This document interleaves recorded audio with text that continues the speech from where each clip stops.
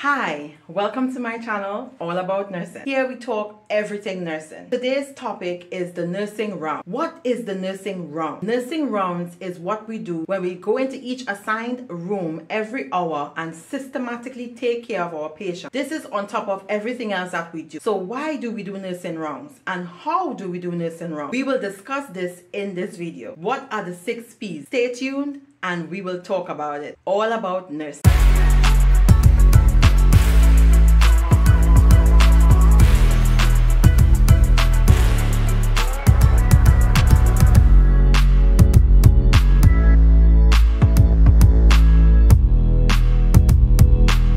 The nursing rounds. What are the six P's of the nursing round? Let's see. So we got pain control, we got patient toileting, patient positioning, presence of nurse, periphery, pumps, machines at bedside. What we mean by pain control? When we go into the patient's room, we have to ask if the patient is in pain. So pain control. How do we manage pain control? Pain control, the first P is the pain assessment of the patient. We use different types of pain scales. For example, you can ask your patient, are you having pain, sir? From us from 1 to 10, using the numeric pain scale. 10 being your worst pain, 1 being mm, tolerable pain. Can you tell me what is your pain scale? You can use the Wong Fei scale. You can use the PAINAD scale. There are different types of scales for different situations. So you use the pain scale that appropriate to you at that point in time. If your patient is having pain, you please provide them with pain medication. Patient toileting. So think about it. You're in bed. You can't walk because you have a broken leg and you want to pee. Oh my God, I want to pee. What are you going to do? You're going to press the bell. Sometimes the nurse takes a while to come to the room.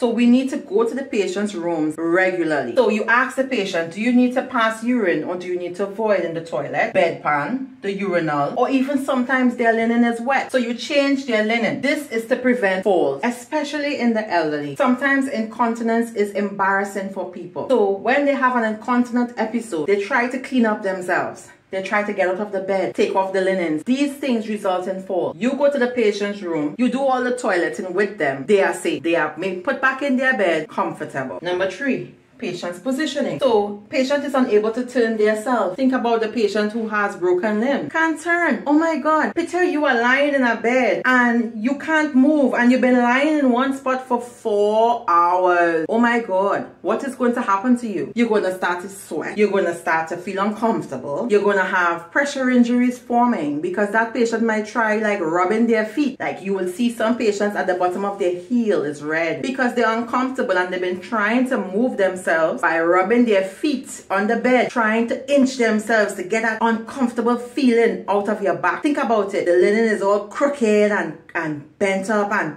there's crumbs in the bed and you're just lying there and you, you can't call for help because for some reason the call bell isn't next to you. How do you think the patient is going to feel? So we have to make sure we go to their rooms and smoothen their linens, reposition our patients, Make sure to prevent pressure injuries. Increasing our HCAHPS scores. Hospitals like it when we do that. Presence of a nurse. Oh my, that one is so important.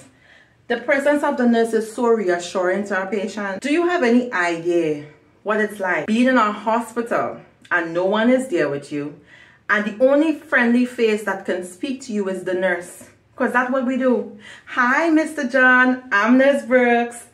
That is how we introduce ourselves. So this patient would love to see your beautiful face. This patient would love to speak to you. Sometimes when the doctor speaks to the patients, they don't even understand what they said. We are there to break it down into layman terms. We are there to hold their hand, literally and figuratively. We are there to take care of our patients' lonely feelings, talk to them, hear them out. We are their advocates. That is what our presence does. Our presence at our patient's bedside provides comfort. It provides a sense of advocacy. Somebody is there to stand on my cause. Remember nurses, our patients need to see our smiling faces, okay? Then periphery. Oh my God, my pet peeve. I hate when I go in a room and my patient's table is all the way across from them on the other side of the room. And on the table is the call bell, is the water, is the cell phone. And it's because somebody else went into the room, did something with the patient and didn't think it kind enough to bring back their stuff at their bedside. That's why we are here. We are to ensure our patients are not left like if they are not human. Put yourself in their shoes. If I need to call for help, how am I going to get to the table where my call bell is all the way on the other side of the room? That's what periphery means.